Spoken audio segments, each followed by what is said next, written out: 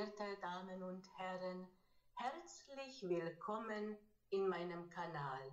Ihre Dendera Susanna Medici.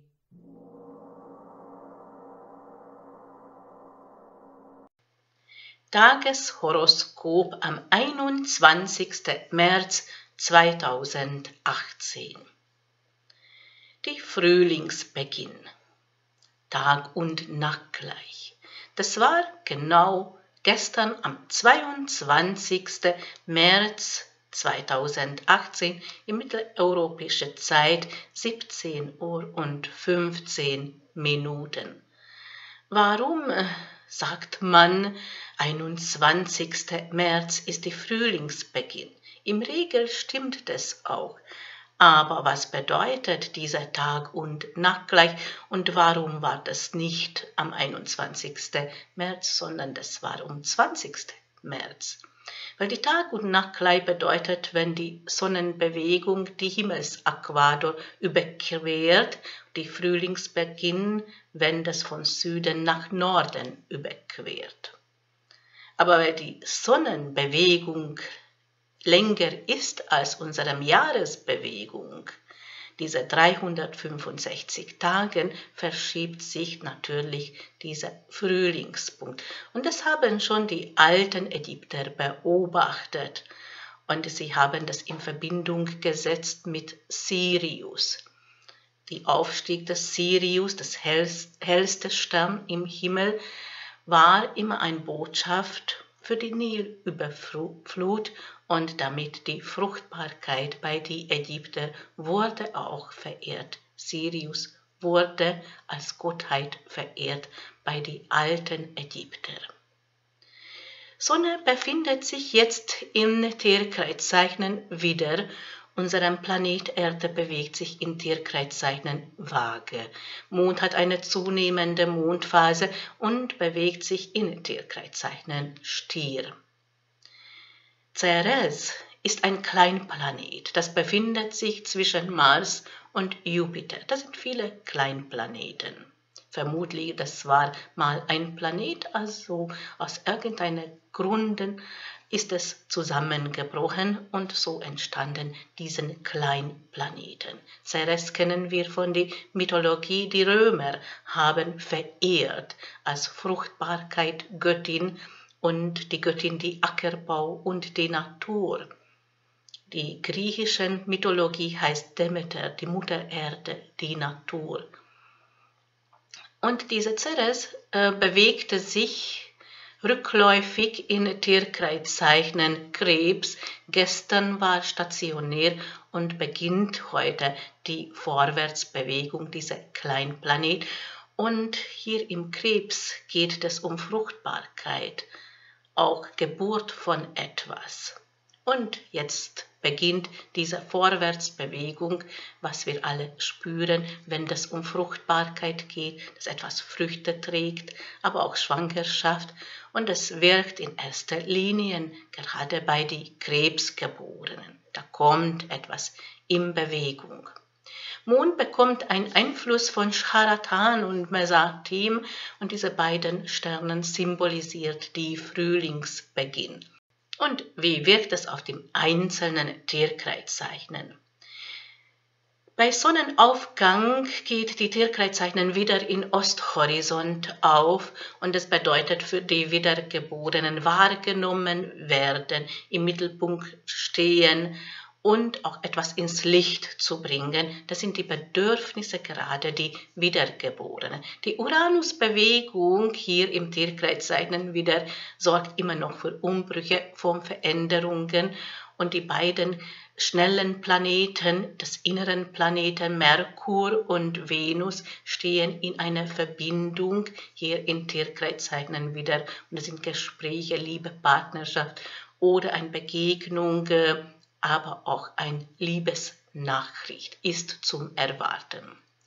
Bei Tierkreiszeichen Stiergeborenen sind kleinere Veränderungen möglich. Unterstützung kommt von außen, eine Bestätigung, ein guter Rat oder eine Begegnung, was die liebe Partnerschaft betrifft, in vertrauten Umgebung. Die Tierkreiszeichen Zwillingsgeborenen kommen auch Veränderungen. Sie haben auch gerade Chancen und Möglichkeiten, etwas verändern im Leben, das in Ordnung zu bringen. Eine gute Nachricht ist zum Erwarten, aber es ist auch gute Energie für die liebe Partnerschaft. Die Tierkreiszeichen Krebsgeborenen ist wichtig zu betrachten, diese Vorwärtsbewegung der Kleinplanet Ceres. Das heißt, auch wenn bis gestern alles so zurückhaltend war oder stationär, also das heißt unbeweglich, jetzt kommt etwas in Bewegung und all das, was sie vorbereitet haben, trägt auch jetzt Früchte. Die Tierkreiszeichen Löwengeborenen haben karmischen Themen und auch Aufgaben, auch die Suche nach etwas, Suche nach die Berufung, Suche nach dem Platz des Lebens, Suche nach der richtigen Partnerschaft. Aber auch neue Erkenntnisse sind möglich bei die Löwengeborenen. Eine gute Nachricht ist zum Erwarten und Glück in die Liebe Partnerschaft. Die Tierkreiszeichen Jungfrau Geborenen haben Kraft und Mut gerade. Das wird auch noch in die nächste Zeit so sein oder ein guter Einfluss von einer männlichen Person. Sie fühlen sich ein bisschen unsicher, besonders was die liebe Partnerschaft betrifft. Und bei den Gesprächen auch die Frage, soll ich schreiben oder soll ich nicht oder ich verstehe das nicht. Also wichtig ist auch ein klärende Gespräch zu führen. Die Tierkreiszeichen Wagengeborenen spiegelt etwas im Leben. Und das sind die Gespräche und die Liebe, Partnerschaft, aber auch die Veränderungen. Und nicht zurückhaltend sein, sondern aktiv werden, diese Chancen auch wahrnehmen und auf anderen zuzugehen. Die Tierkreiszeichen Skorpiongeborenen sollen im inneren Gleichgewicht bleiben. In die Ruhe liegt die Kraft. Und es brauchen gerade die Skorpiongeborenen. Und so können sie auch sich beweisen. In der Liebepartnerschaft fühlen sie die Skorpiongeborenen auch unsicher. Und bei Kontakten, Gesprächen können sie auch nicht richtig einordnen, was die anderen meint. Die Tierkreiszeichen Schützengeborenen haben Glück in die liebe Partnerschaft. Eine gute Nachricht ist auch zum Erwarten und Erfolg im Beruf, Unterstützung bekommen die Schützengeborenen. Wichtig sind die Gefühle, dass in die inneren Ruhe bleiben und nicht zweifeln. Die Tierkreiszeichen Steinbock-Geborenen, hier bewegt sich der Planet Mars gerade, das heißt Mut und Kraft zu haben, etwas in Bewegung setzen, aber Mars kann auch eine männliche Person sein. Und da bewegt sich etwas bei die Steinbock-Geborenen. Wichtig ist die Wünsche, Sehnsüchte auch wahrnehmen und natürlich das auch als Ziel setzen. Und jetzt ist gerade die Kraft und die Mut da, etwas in Bewegung setzen. Die Tierkreiszeichen Wassermanngeborenen ist ein Aufstieg. Viele Wassermanngeborenen erleben als beruflichen Aufstieg, aber in die Liebepartnerschaft haben auch Glück und eine gute Nachricht ist auch zum Erwarten. Bei Fischengeborenen ist gerade eine Heilung. Sie sind etwas zurückgezogen oder meditieren, sie brauchen die Ruhe und so kommen auch in den inneren Gleichgewicht und spüren auch diese Stärke. Aber Unterstützung kommt auch von Umgebung, das sind die Freundeskreis, Bekanntenkreis, die vertraute Umgebung, die Menschen geben auch die Unterstützung, die Liebe, die Aufmerksamkeit und auch ein guter Rat.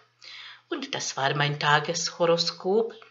Ich bedanke mich für das Zuschauen. Mein Name ist Dendera Susanna Medici.